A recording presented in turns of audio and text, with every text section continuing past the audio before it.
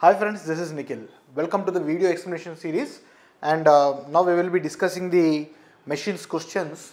The first question, uh, the question that was given here is two windings of a transformer are designated as the option A says primary and secondary windings, option B says primary and HV windings, C says secondary and LV windings or primary and LV windings.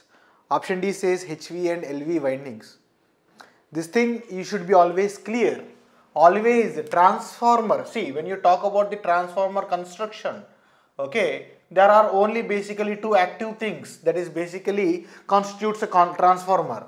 So, in a transformer, there are only two things. One is you will be having a magnetic core, and the other thing is you will be having windings. How many windings? Minimum two number of windings are required, and uh, those two windings are called as HV winding and LV winding, not primary winding or secondary winding.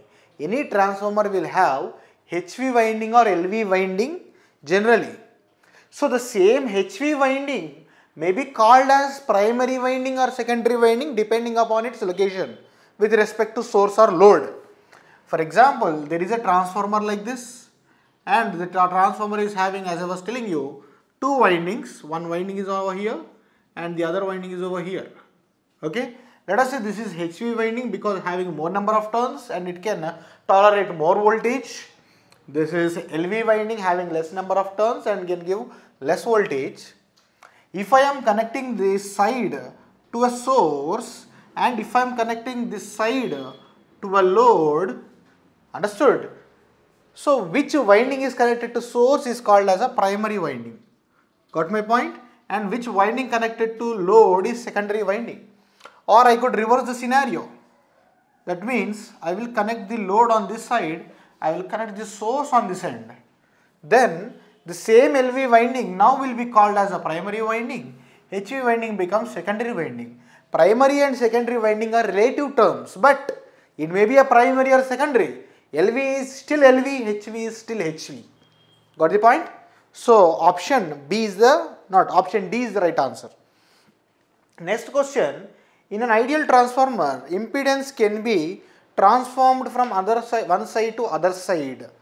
Okay, in direct proportion proportion to the square of turns ratio, in direct proportion to turns ratio, in inverse proportion to square of turns ratio, in inverse proportion to turns ratio. So this question is actually a little bit a tricky question because the way he is asked is a little bit confusing. Why? Because he was telling you that in a transformer anyhow you know there will be two sides. Let us say one is a primary side, the other one is a secondary side. So we already know we can transform impedances, resistances and reactance from primary to secondary or secondary to primary. Understood? Suppose you are transforming, let us say I am having some impedance on the primary end, let us say that is Z1. If I look from the secondary side, the same Z1, how much will it appear? That is what uh, transforming Z1 to secondary means. That means if you take Z1 and uh, make it sit on the secondary winding, how much does the value have? That is what transforming from one side to other side. Let us say Z1 is on the primary, need to transform on the secondary. We used to use a technique called as PSM technique I used to tell. PSM technique means primary to secondary multiply. Multiply with what? Square of what? Transformation ratio K. Transformation ratio K. That means if Z1 comes to secondary side, now it will be called as Z1 dash and Z1 dash will be what? PSM multiplied by K square. K square times of Z1. K square times of Z1.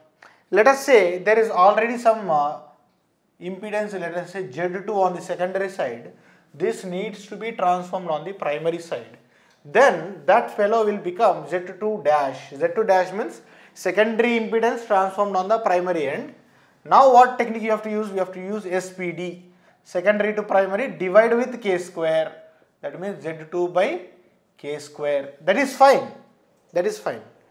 But he is telling you transform from one side to other side. What he is telling? One side to other side. But he did not mention whether primary to secondary or secondary to primary. So when he does not give such kind of uh, information, then it definitely means You want to transform the secondary to the primary. You want to transform what? Secondary to primary. Why? Because this kind of a feature of a transformer, that means, let us say you are having some impedance on this side, but when you are looking from the primary side, this impedance is something else. That means you are able to modify the impedance, isn't it? So, this feature is used for some application called as, very important application called as impedance matching. What I mean to say is impedance matching. Where do we use impedance matching? In circuits you have studied about MPT, maximum power transfer theorem, isn't it? In maximum power transfer theorem, what do you need? You have to have a condition of load that load resistance or load impedance must be equal to the source resistance then only you will get the maximum power transfer from the source to the load. Let us say I am having some uh, source like this some voltage V and this uh, source is having some let us say impedance something like Z okay let us say Z is equal to some okay 10 ohms is equal to 10 ohms and uh, you are having a load available over here whose resistance is how much? Let us say 40 ohms is the load resistance. Okay. Now I have to transform power from this source to load of 40 ohms resistor. Source resistance is 10 ohms. Source resistance is 10 ohm. Can you tell me that maximum power transfer will occur? No. Why? Because the load resistance is different from the source resistance. Now what can I do? Because I have no other option. This is the only load, this is the only source, nothing I can modify. What can I do in order to squeeze maximum power from the source? Then I will use this impedance matching transformer, something called as an impedance matching transformer. So let us say I am introducing a ideal impedance matching transformer and this transformer in between I am placing like this between source and load and the transformer is having the turns ratio like this. That means 1 is to 2 is the ratio. What I, what I mean to say is 1 is to 2. That means for every one turn on the primary, you will be having two turns on the secondary. Now, can you define what is the transformation ratio K for this transformer? Is nothing but 2 by 1, isn't it? K is equal to 2. So, now when the source is seeing the load which is 40 ohms, how much does it appear? Does it appear same as 40 ohms? No. Why? Because now due to the effect of transfer, transformer, transformer has electrically isolated the load and the source. Now, whatever transformer tells is the load value, that much only the source must believe. Now how much will the transformer tell? Up to how much can the load see? Load can see up to the primary of the transformer, that's it. Because beyond the primary of the transformer, there is no electrical connection, isn't it? It is something else. So the load don't know what is the load value. The source don't know what is the load value. Now how much will the transformer tell the load connected on its secondary is on primary. So you have to transform the secondary load on the primary side. So when you transform secondary to primary, what happens? Uh, Z2 by K square. So what is the Z2? 40 by what will be the K square? K is equal to 2. 2 square is how much? 4. After you solve it, how much you are going to get? 10. So now the transformer will show the image of this 40 ohms as 10 ohms on the primary side. Now the source will think, okay, both guys are equal, so maximum power transfer. So maximum power will be transformed like this. So this kind of an application is called as impedance matching transformer. So up to now you have understood very well. So as I told you, if you are supposed to transform from one side to other side, no specific side is given, then, then definitely it is secondary to primary. Then the impedance will be scaled or transformed in proportion to the square of the k square. But in the question what he is asking, he is asking you the turns ratio. See, this is the trick where, this is where the trick comes. So, in transformers, there are two ratios basically you have to understand. First very common ratio is transformation ratio and next one is the turns ratio. Okay. Transformation ratio is designated commonly with K. So, this K which we are talking is transformation ratio K which equal to N2 by N1 and turns ratio which I am talking now is A. A is simply reciprocal of K that means N1 by N2, N1 by N2. Now if you are supposed to write down the secondary impedance referred to primary side in terms of transformation ratio is equal to Z1 by K Z1 by K square. Now in terms of turns ratio it would be Z1 into A square. So, which option would be right answer? Option A, direct proportion to the square of the turns ratio. Direct proportion to the square of the turns ratio. So, option A is the right answer. Alright. Now, the third question you see, distribution transformers are designed to have. So, the options are core loss PC greater than full load ohmic loss POH. Full load ohmic loss here refers to copper losses. Option B says PC less than POH. Option C copper loss I mean the core loss equal to the ohmic loss. Option D PC negligible as compared to ohmic loss. See option D cannot be correct at any moment. You cannot directly neglect the iron losses. Why? Because see iron losses or core losses are nothing but eddy current losses plus hysteresis losses. And both of these fellows are function of frequency. Unless and until your operating frequency is going to be very very less yeah, until a single digit number let us say frequency you may not neglect the iron losses presence. Whereas let us say you talk about an induction motor rotor. See in an induction motor rotor also is a magnetic core but uh, generally when you study induction motor you might have noticed that we will not take uh, into account the iron losses of the rotor. The reason is the rotor frequency is a single digit number 2.5 hertz, 2 hertz something like that. So at lower frequencies the iron losses our number is very less so therefore we will not consider them.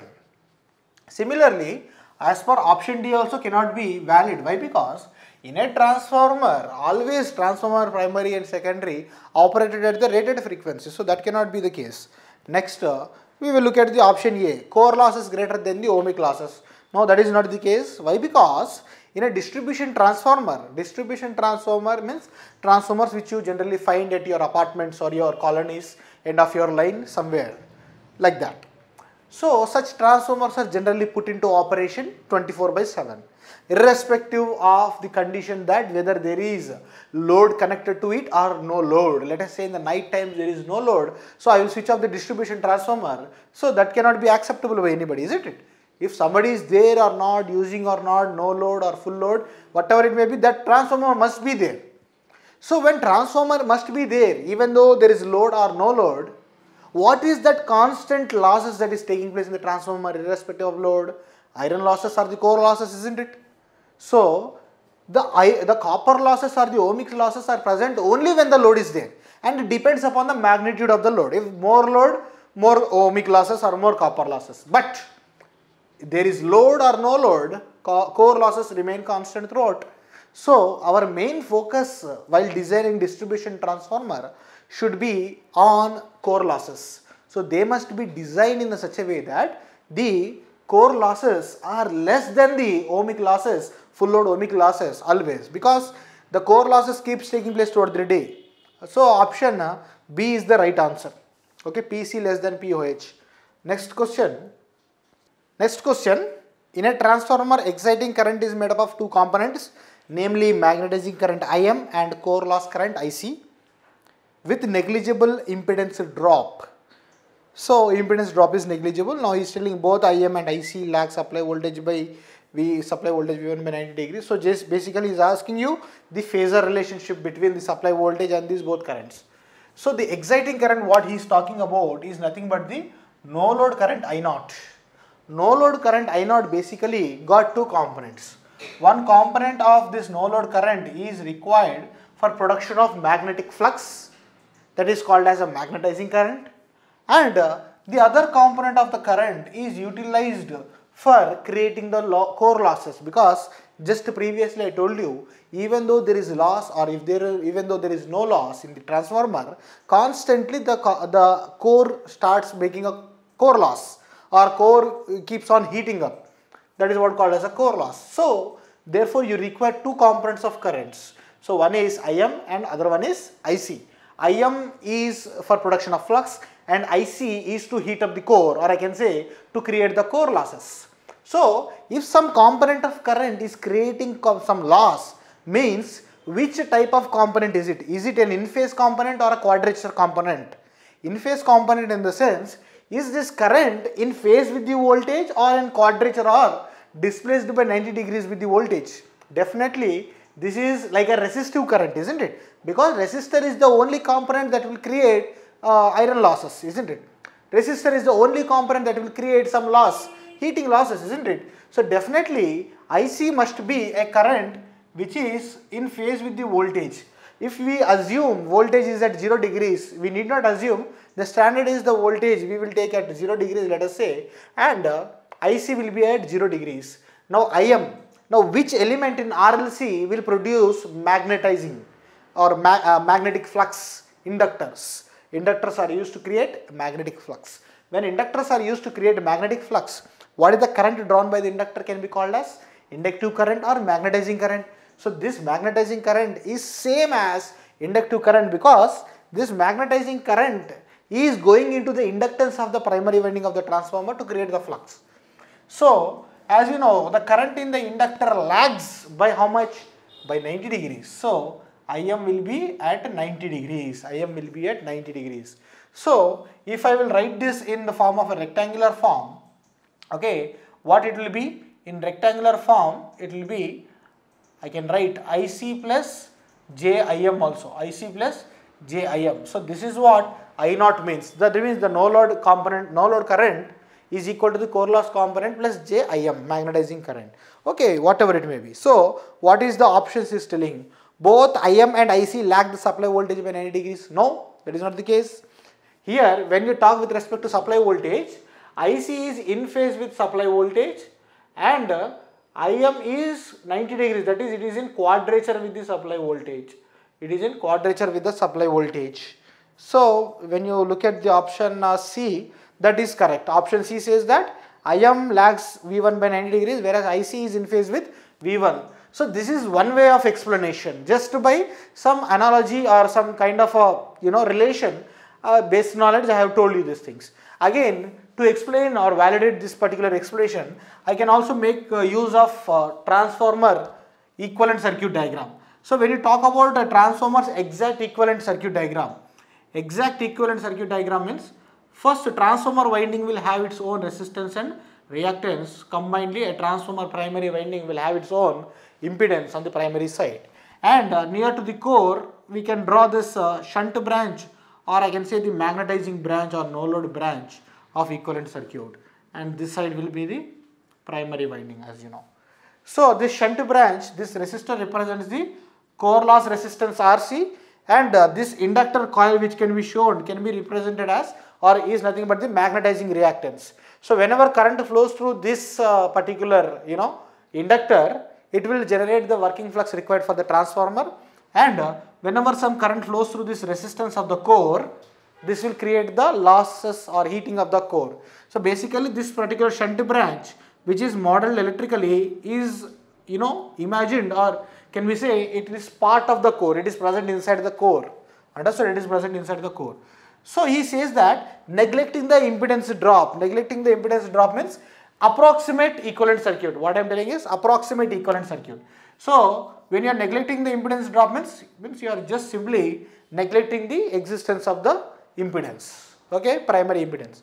Now, what is the voltage applied here? Supply voltage is V1. The same voltage will be coming over here, okay. So, what is the voltage at this shunt branch? Here also V1. But otherwise, if he did not give you the term, what the term, the impedance is neglected. Otherwise, what would have been the situation?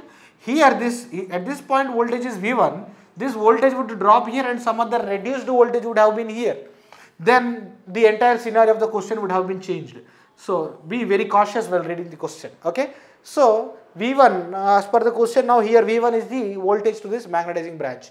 Okay. So V1 is the voltage with respect to V1 we have to study. So with respect to V1 the current going into the core is I naught means at the time of uh, no load is I naught. Now this I naught is having two components IC and this is IM. Now voltage is same for both resistor and inductor. That means voltage let us say voltage is at some angle here. Okay V1. Now current going through the inductor should lag the applied voltage by how much? 90 degrees. So exactly 90 degrees lagging you will be having IM and uh, applied voltage is here V1 and uh, current through the resistor is IC and what would be the angle between V1 and IC? They both will be 0 degrees. So IC will be like this. So this is the vector diagram of the transformer, isn't it? This is what you get for vector diagram of the transformer. And resultant of this both would be the I naught. Okay, I naught. Understood? So if you look here, the angular, uh, you know, relation, V1 IC in phase, V1 IM lagging by 90 degrees. That's it. So we'll get to the next question. A 400 by 200 volt transformer has a total resistance of 0.02 per unit on LV side. This resistance when referred to the HV side would be, this resistance when referred to the HV side would be. See guys, one thing you have to keep in mind. LV winding, HV winding. LV winding means less turns. Understood? Less turns.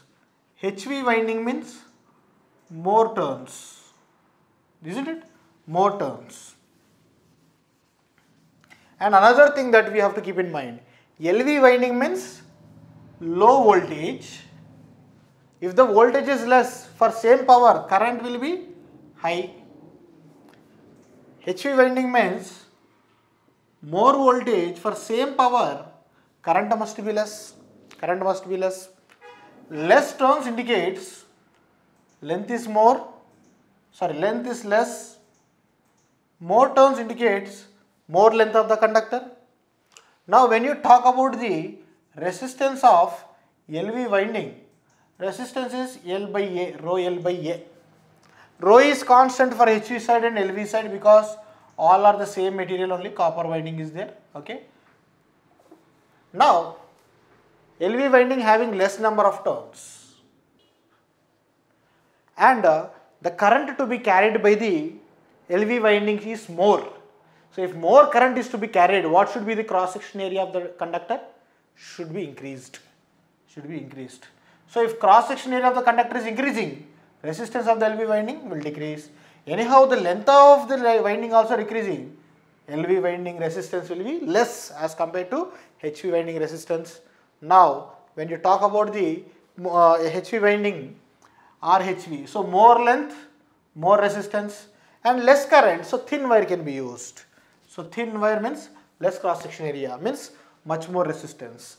So here I can conclude one point RHV is greater than RLV. Similarly it applies to the reactance of HV winding to reactance of LV winding also. So that thing also is there but now the discussion is about resistance only right.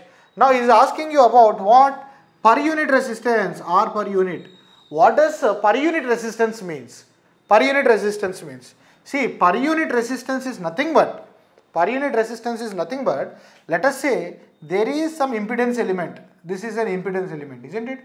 Impedance element means what? Impedance consists of R and X. Combination of R and Jx itself is called as the impedance Z. Let us say for this impedance element, I am providing with some voltage V. I am applying with what? Some voltage V. When I am applying some voltage V, some current let us say I is flowing through this impedance element. Impedance element example is transformer winding only, okay, or any other impedance based elements, okay, not just transformer winding. So here I can define some per unit values. Let us say I am asking you what is R per unit, that means per unit resistance. So when current is flowing through the resistance, some voltage is been dropping across resistance isn't it what is that uh, equal to i into r similarly some resistance is dropping across some voltage is dropping across inductance what is that equal to voltage i into jix isn't it so out of the total applied voltage v how much is the voltage that is dropping or taken by the resistance that ratio itself indicates what is the r per unit so r per unit is equal to ir by v that is per unit resistance. Similarly, per unit reactance I per unit x per unit is equal to I into x by V, I into x by V. Understood? So, this is per unit reactance, per unit reactance. Okay. Let us assume that this is the primary winding of the transformer. If it is primary winding of the transformer, voltage applied is V1 and uh, R1, X1 are the resistances. R1, X1 are the resistances and reactances. Let us say I am transforming the same winding to the secondary side. I am transforming the same you know winding to the secondary side. So what will R1 and X1 will become when transforming to secondary side? Now I am doing primary to secondary transformation. PSM that means multiply with M multiply with M K square multiply with K square. So here R2 will become how much? K square times of R1 X2 will become how much? K square times of X1 K square times of X1. Okay now I am taking the secondary winding okay secondary winding. So secondary winding is again a R and X this R2 only and JX2 only. Now what is the source for the secondary winding? Source for the secondary winding is what? Secondary side induced EMF E2 is the source for the secondary winding isn't it? Source for the secondary winding. Now how can I relate E2 and uh, V1? So assuming that a drop is less then I can tell E1 is equal to V1 approximately assuming that the drop is very less. So from this relation I can write down K is equal to E2 by E1 and E2 will be equal to K times of E1. So E1 is nothing but V1 only isn't it? K E1 is nothing but V1 only right? Now E2 is nothing but K times of V1. Now here let me define what is R per unit. On the secondary winding let us define what is R per unit. Now tell me what is R per unit? R per unit is nothing but the what is the current flowing here let us say I2. Now what will I2 be equal to? I2 will be equal to as you know from this relation only in a transformer I1 by I2 will be called as K. So K I2 will be equal to I1 by K. I2 will be equal to what? I1 by K. I1 by K. Now R per unit means what? Voltage dropping across the resistance by what is the total voltage applied. So I2 into R2 is the voltage drop across the resistor and total voltage applied to the secondary winding is E2 and uh, from these conditions which I have obtained now I already got a condition or a situation that I2 can be written as I1 by K okay? So I am writing I1 by K over here. R2 can be written as what? K square times of R1 so this is becoming how much? K square times of K square times of R1 okay? And uh, divided by E2 voltage. What is E2 voltage equal to? K times of V1. So into K times of V1. Now K, K, K square, K square get cancelled out. Finally what I am left over with? I am left over with I into R1, I1 into R1 by V1. So what is this? This was the same as the per unit resistance that you got on the primary side. So from this explanation I can prove that for a transformer the actual ohmic values of resistance on the HV side and LV side may be different because the winding configuration or the physical dimensions are different but there is no change in the per unit resistances, reactances or impedances. So in a transformer R per unit equal to R per unit on HV side and LV side, primary side, secondary whatever you may call. Similarly applies for reactances and impedances also. So here the answer would be option A 0.002 because that is what he told is the uh, LV side per unit resistance. On the HV side also would be the same. So in this question it says that a 3 is to 1 transformer is there. 3 is to 1 transformer. That means the primary side is a HV side secondary side is an LV side. Understood? Next is having an impedance of 1 plus j5 ohm on the LV side so this LV side ka impedance is 1 plus j 5 ohms. Next he says that 9 plus j 45 ohm on the HV side.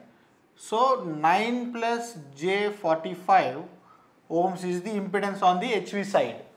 Okay, he is asking you to find out what is the equivalent impedance on the HV terminals. Understood? So this is the HV side HV side having some impedance let us say Z1 and this is the LV side, LV side having some impedance as given Z2 okay.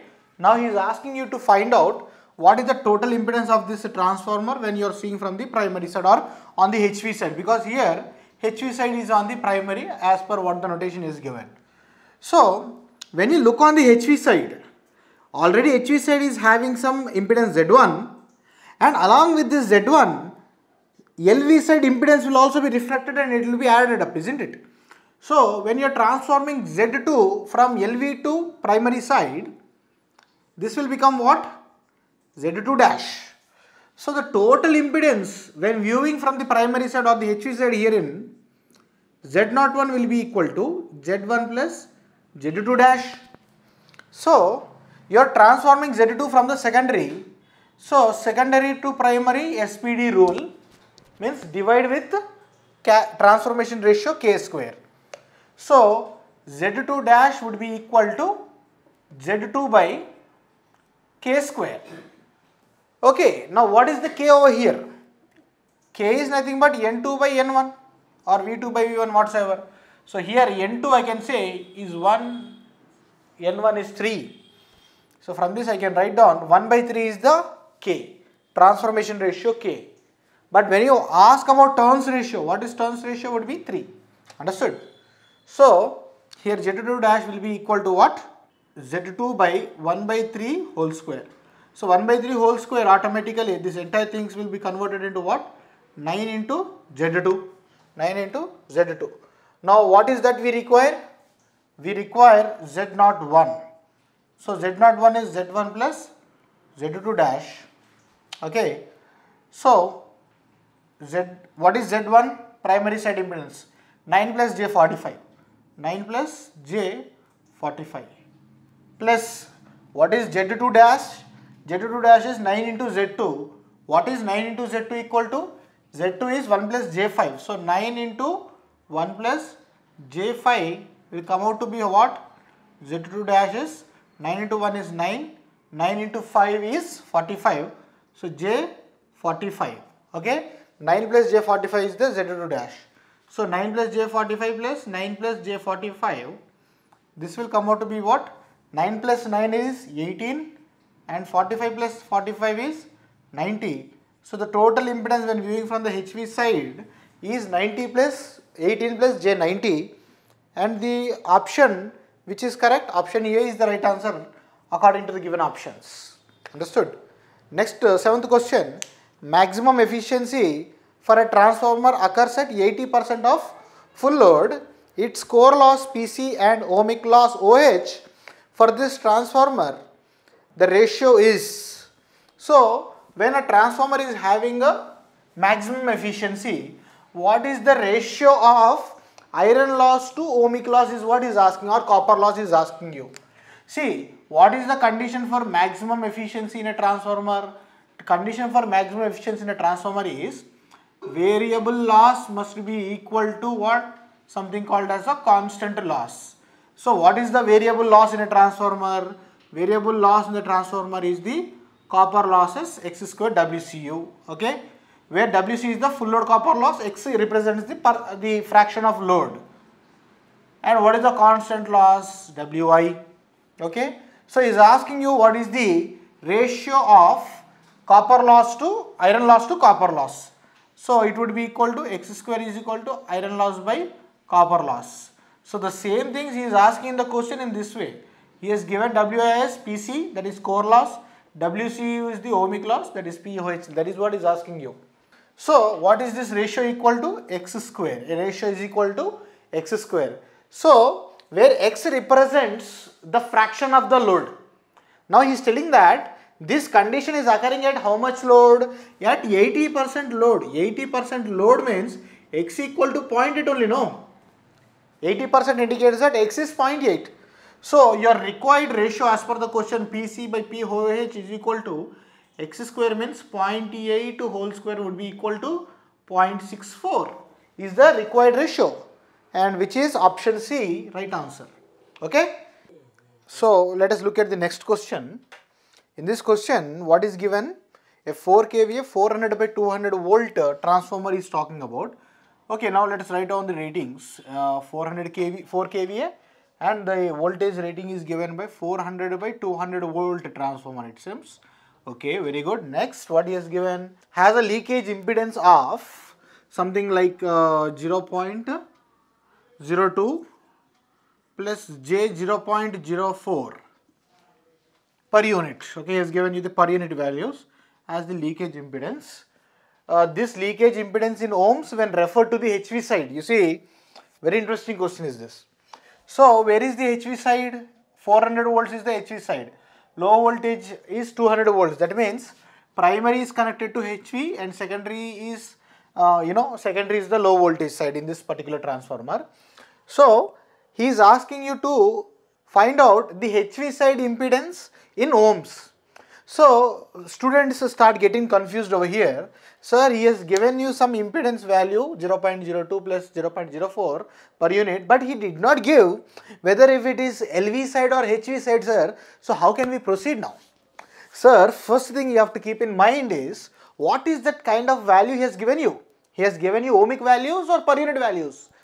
Per unit values. If it is per unit value, per unit value is same on LV side or HV side, primary side or secondary side. Any side the per unit value remains the same. So where is the question of having a LV side per unit and HV side per unit? Everything is fine. Using this per unit value, you are supposed to find the actual ohmic value of the HV side that is on the primary side. So what is a per unit value? Let us say there is a per unit impedance Z per unit. Per unit impedance is defined by actual impedance by base impedance. Actual impedance is uh, the impedance which is actually present in that particular winding base impedance is some uh, some reference impedance that you are referring. That means you are comparing the actual uh, that means you are comparing the actual impedance with some reference impedance and you are taking out what is the per unit value and we are defining the per unit value in that way. So actual impedance units is ohms base impedance is some other impedance in ohms. Ohms ohms get cancelled out so now i can just tell me what is the units for per unit value Per unit value is a dimensionless, it is no units. There is simply some value per unit, that's it. Okay.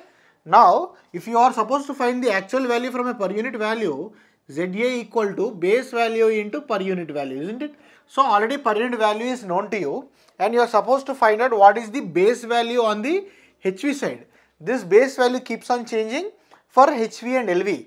So, basically in power systems or in machines, there is one popular formula for uh, base values, uh, base impedance. That is basically we will be given with in power systems or in machines basically when you talk about transformer ratings will be given in kVA only in most of the power system cases and in transformers. Rating will be in kVA only. So this kVA rating is apparent power rating therefore S so any apparent power will be equal to what apparent power will be equal to I can say the voltage square by impedance of that particular element, isn't it? Impedance of that particular machine. So V square by Z. Same like we have seen in uh, Ohm's law also. See, as per Ohm's law, we used to define that power consumed by a bulb will be equal to V square by R. That means voltage square by the opposing component or the resistive component itself will give the power, isn't it?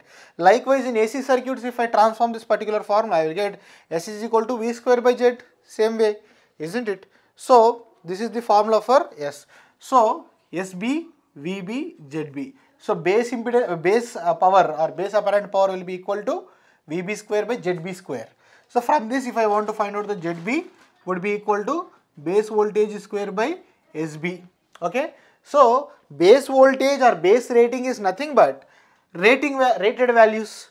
So, according to the given question, what is the rated voltage on the HV side because we are supposed to find out the ZB on the HV side. So, HV side rated voltage is 400. So, 400 into 400 is the VB square and SB is what 4 kVA. Okay. So, 4 kVA, K means 10 power 3. So, 10 power 3 has 3 zeros, here 2 and 1 zero I got cancelled out and 1 4 1 4 get cancelled out and what is remaining? 40 ohms is the remaining value. So, you got the ZB value as how much? 40 ohms. 40 ohms is the Z base. Okay, now you got the base resistance or base impedance on the HV side. Now we will find out what are the base uh, actual impedance on the primary side. So he has already given you that uh, Z per unit value. So Z per unit will be given by uh, that uh, what is given 0.02 into 0.004 isn't it? So this 0.02 is nothing but the R per unit okay plus J and x per unit that is the values that he has given you.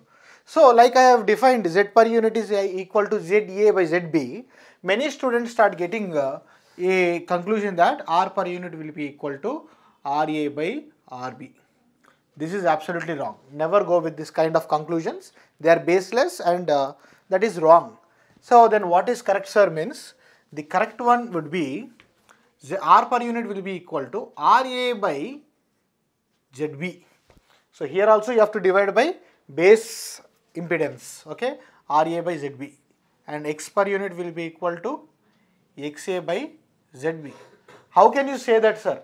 How can we say that sir means in my earlier explanation of some other question, I already defined that if you say R per unit, R per unit is nothing but the voltage drop across the resistance by what is the total voltage applied. So this total voltage applied can also be written as I into Z, isn't it? So II get cancelled, then R by Z is R per unit. That's how you get this conclusion, okay? So never go with this kind of wrong conclusion that RA by RB. R base does not exist, only Z base will exist for an impedance element, okay? So from this, if you are supposed to find the actual value of A, RA, what you have to do? Multiply R per unit with Z base to find out R actual. Similarly, to find out X actual, you have to multiply X per unit with the Z base, isn't it? So, what is the R actual I can say? What is R per unit into Z base? So, what is, what is R per, R per unit? R per unit is 0 0.02. So, 0.02 multiplied by what is the Z base on the HV side? 40. So, 0.02 into 40 will yield how much? 0.8 ohms. Similarly, X actual on the HV side. What is the per unit X? 0.04 into what is the Z base? 40. So, if you multiply this, you will get 1.6. So, I can write uh, on the HV side, the ohmic value of impedance would be 0.8 plus 1.6, J 1.6 ohms. So, if you look at option A, option A will be tallying with this result. Option A is the right answer for this question, okay. So, now another interesting question is given. Here he has, he has given you a figure of a transformer like this. So, there is a transformer like this having a primary side AB, secondary side CD.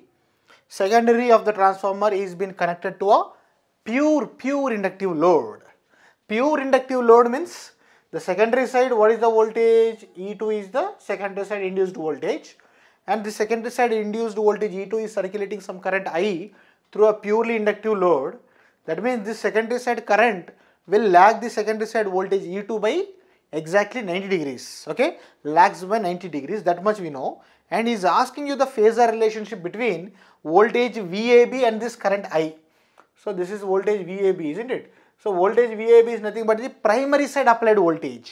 So between primary between primary side applied voltage and the secondary current inductive current, what is the angle is asking you. So this requires your uh, subject awareness about the vector diagram of a transformer. So let me construct the vector diagram of the transformer. For a transformer vector diagram, first you have to uh, just imagine the operation of a transformer. When you imagine the operation of a transformer, first what we will do on the primary side, we will give some supply. So what is the supply I am giving here? VAB supply I am giving. Okay.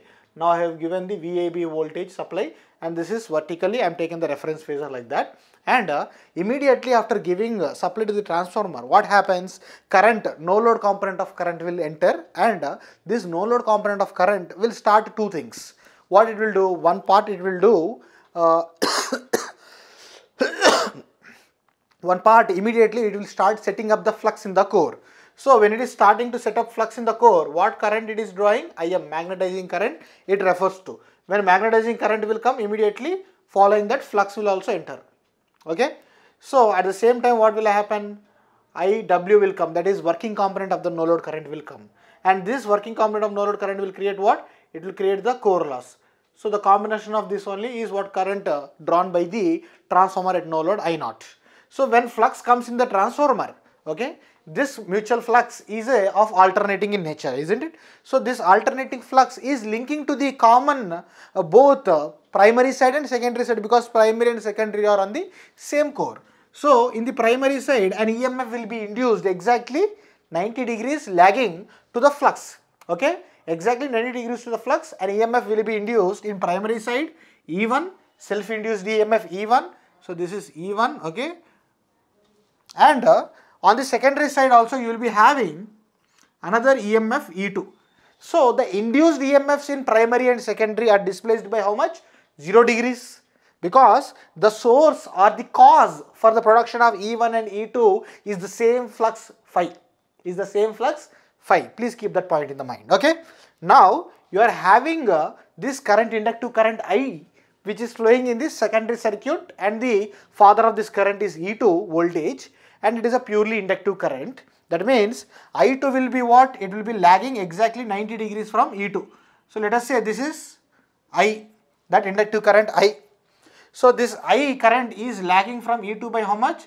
90 degree lagging is there. Now when you look at this fellow I vector from VAB point of view, how it is looking? It is looking as if 90 degrees lead, isn't it? It is still 90 degrees but in this direction that means leading direction it is there. So which option will be tallying? Option B will be the right answer. So with respect to VAB, this current I is 90 degrees leading. With respect to here it is lagging or 90 degrees leading or you can call it in other words. What is that other words in terms of lagging? From this, from this side you have to travel then. You have to travel in clockwise direction for lagging. So 90 degrees, 180 degrees, 270 degrees. So 90 degrees lead or 270 degrees lag also you could be the answer. But according to the options, what is there? Only 90 degrees lead. Option B is the right answer. Now look at this question. Two transformers are there. X and Y are the transformers. Okay. Transformer X and transformer Y. Okay. Both of these are identical ratings. That is the rating is same. Dimensions are same. And they have uh, some thickness of the lamination is given. He says that transformer X tra laminations are 0.8 mm thick and uh, transformer Y laminations are 1.2 mm thick. If RC and XM are magnetizing branch parameters, that thing we know in the equivalent circuit, then RC values in both are likely to be equal, but XM of X is likely to be higher than XM of Y. So basically what's happening in this question is, he has given you the lamination uh, values of both the transformers. Laminations correspond to which part of a transformer? Core of a transformer. What? Lamination corresponds to what? Core of a transformer. So, in equivalent circuit diagram, in equivalent circuit diagram, which part of the equal circuit diagram of a transformer corresponds to the core? The shunt branch, the magnetizing branch or shunt branch, whatever you may call. So, what will the shunt branch consist of? It will consist of a magnetizing reactance XM and uh, it will have the core resistance RC or core loss component of resistance or something like that RC and XM these both are there okay. Now both of the transformers are having different configurations of the core of course the electrical uh, rating other things dimensions are, are the same but inside the core the core construction is little bit different by the thickness of the laminations. Now this transformer is having very thin laminations, this is having little bit uh, thicker laminations. So before getting into explanation of this question, what, uh, what are the factors that will be affecting when you are changing the thickness of the laminations? See, first thing is the eddy current losses is directly proportional to what? Thickness. So higher the thickness, higher will be the eddy current losses. Okay. So if you are reducing the thickness, what happens to the eddy current losses? Eddy current losses will also decrease. So as compared to X and Y, which will have lesser eddy current loss? X can have eh, lesser eddy current losses. So it's actually square of the thickness, thickness is square. That means if higher the thickness, higher will be the eddy current losses. So this is one aspect with respect to thickness.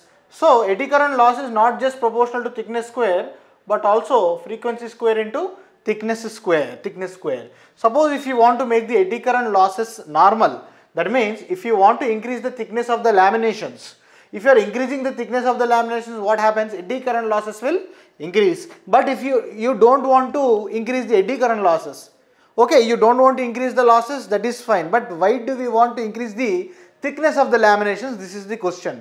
So what factor actually is bothering us and making us to increase the thickness of the laminations? So let us say uh, there is a transformer core like this, okay, transformer core like this. Let us say initially the thickness of the lamination is something like this.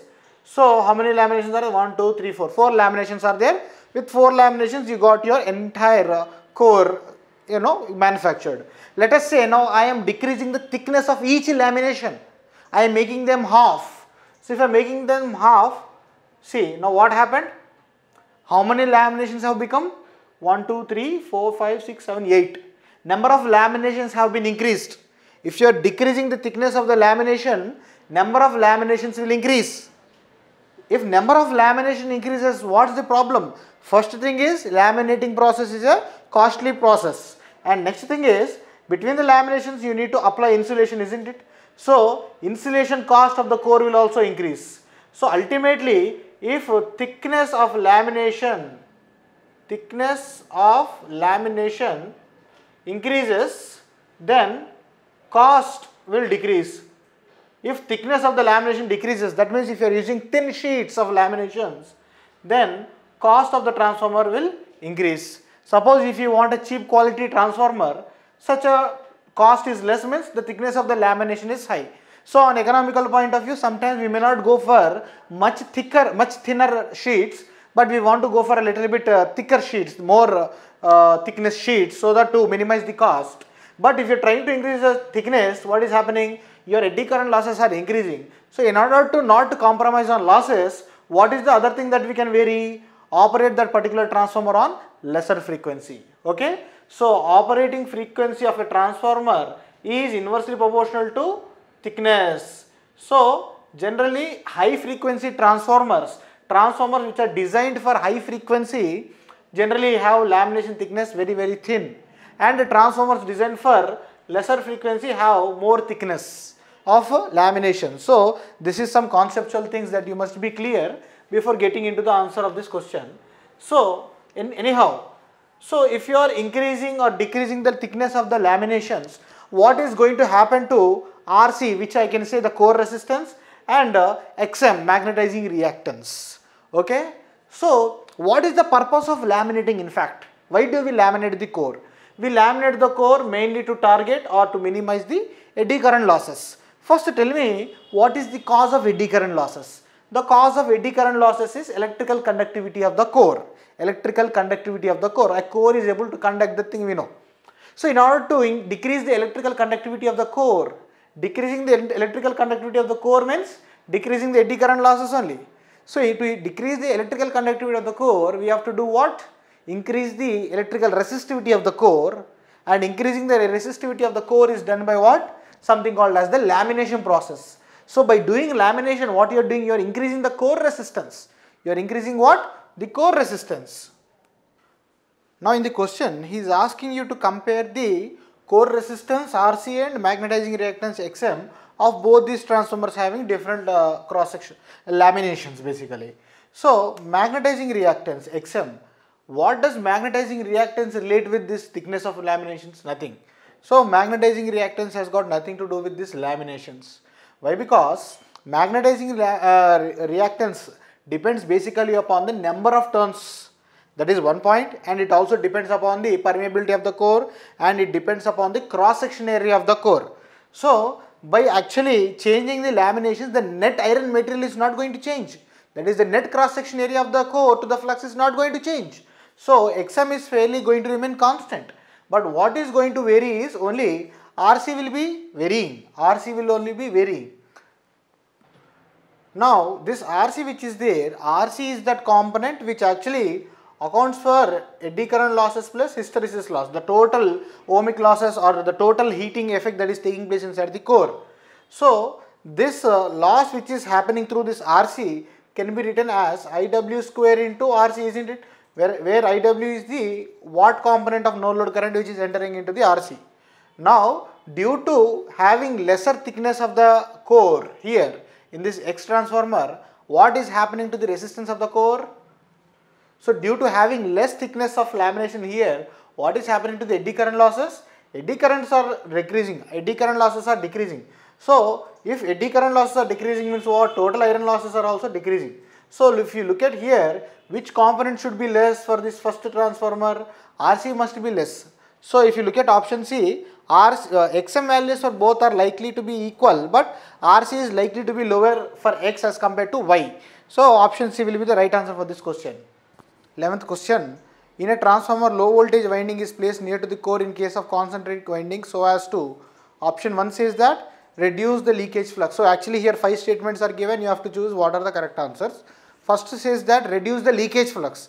See placing LV near to the core and HV above the LV winding is not a you know thing that is done to avoid the leakage flux. To do the leakage flux, to take care of leakage flux, what we do is we do interleaved winding. That means half of HV on one side and half of means HV winding, LV winding both are divided into half half. So one half HV, one half LV on one limb, one half LV, one half HV on another limb. So that is done, not this concentric winding. So option one cannot be that first statement cannot be the answer. Second option, second uh, statement you see, reduce the insulation requirements. Yes, insulation requirements are required to be reduced. Let us say this is the core. Above this core, let us say there is an LV winding. Okay, and above the LV winding only there should be HV winding because it is concentric winding. Always core potential is taken as 0 volts. Let us say this transformer is a 33 by 11 kV transformer. That means 11 kV is the LV voltage. So this is 11. HV voltage is 33. Now we have to provide insulation isn't it between core and between the windings. So between core and LV winding how much insulation is required, how much voltage, voltage difference is there that much. So 0 and 11. So 11 kV voltage difference, so 11 kV proportional to insulation is required.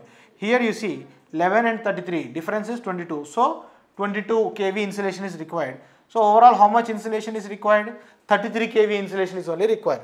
If you think in other way, let us say I am placing HV near the core and LV away from the core. HV means 33 kV, LV means 11 kV. So 0 to 33, how much insulation? 22 kV insulation is required. Between the windings, how much? 33, 11, how much? This is 33 and here 22. So 33 plus 22, total 55 kV insulation is required. Now you see in which case you are getting less amount of insulation. When LV is near to the core, then only you are having less insulation. Okay. So option uh, 2 is also correct answer.